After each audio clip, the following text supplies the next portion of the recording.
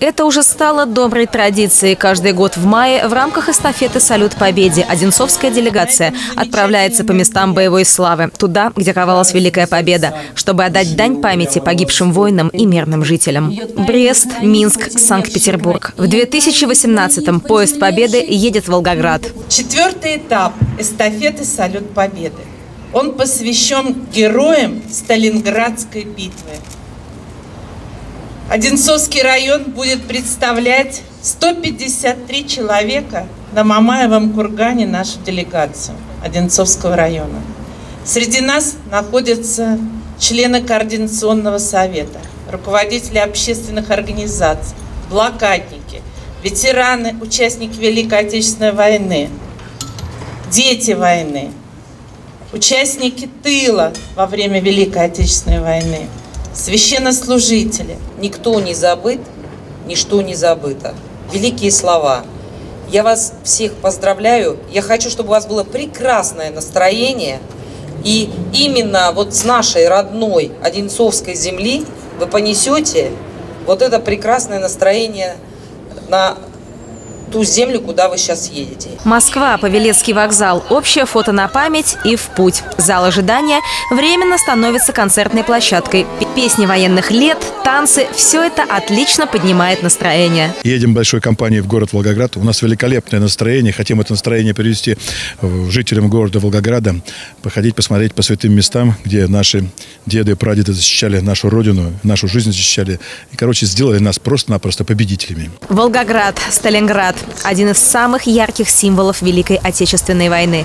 Символ победы. Образец мужества и стойкости советского народа. Битва за Мамаев курган была самой кровопролитной за всю историю войн. Она длилась 135 суток, а битва за Сталинград продолжалась 200 дней и ночей. Победа, одержанная советскими войсками, стала переломной в ходе войны, но далась она слишком большой ценой. Эти памятники известны каждому. Воин грудью встает на защиту родной земли с автоматом и гранатой в руках. Ну а Родина-Мать – это самый главный символ победы. На Мамаевом кургане тишина,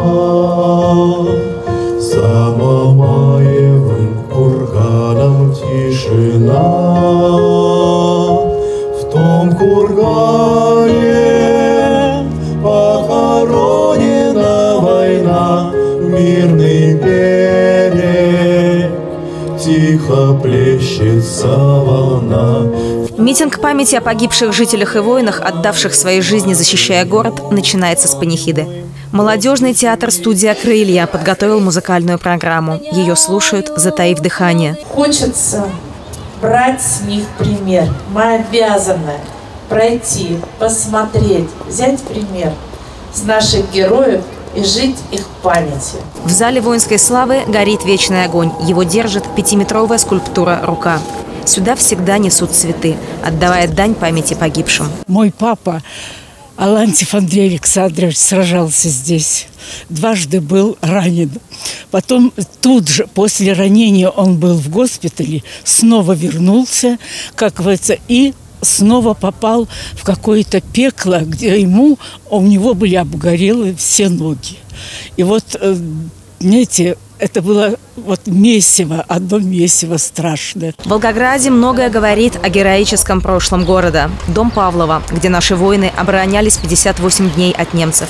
Мельница Гергарта, молчаливый памятник ужасных дней. Здание специально не стали восстанавливать в назидание потомкам.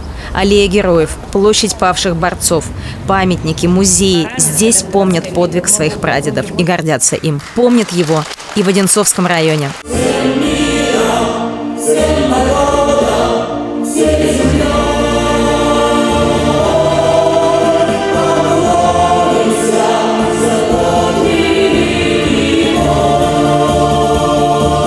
Анна Макарова, Станислав Трифонов, телекомпания «Одинцова».